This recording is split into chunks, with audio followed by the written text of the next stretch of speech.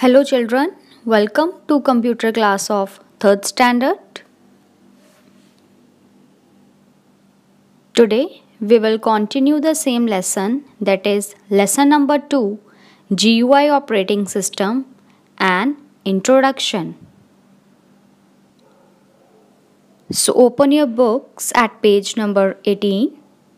Here we are going to discuss the topics basic operations on the desktop that is selecting an icon, deselecting an icon, opening an application, sorting the desktop icons and hiding or showing desktop icons.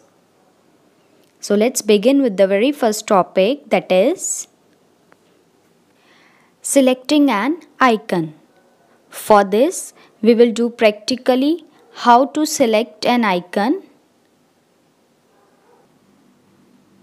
Children, to select an icon, just bring the mouse on any icon of the desktop and click on it.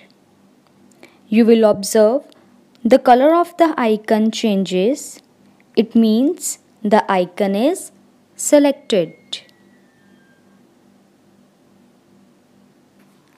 Next is deselecting an icon.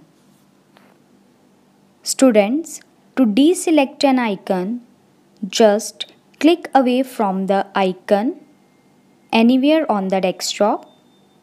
You will observe the icon will no longer display in its original color. Now, next is opening any application. Students, you can open any file or folder. For that, you have to double click the left mouse button on the icon. And you will observe that file or folder will be opened. Now next topic is sorting the desktop icons. So children, Let's discuss the steps to sort the desktop icons practically. Here the word sorting means to arrange the icons.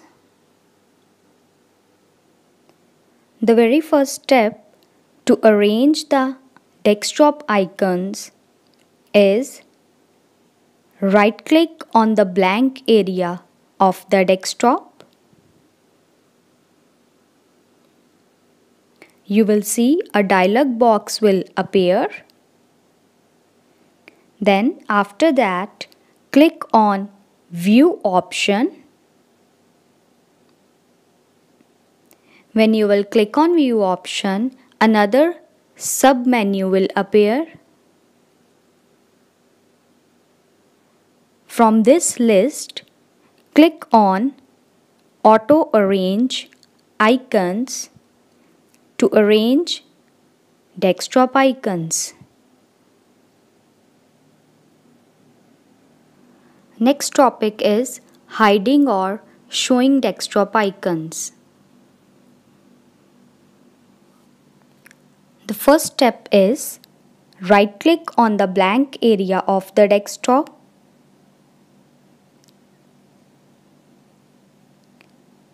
A dialog box will appear.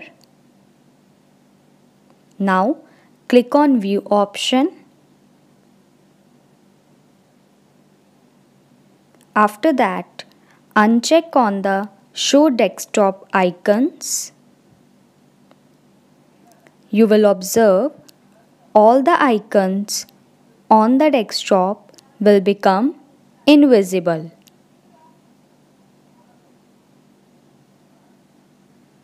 Now if you want all the icons to be appear back on the desktop then you have to check on the show desktop icons.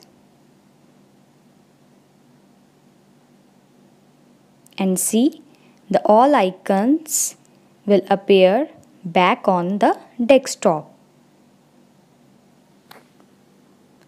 Children, do reading of page number 18 and 19 of your books.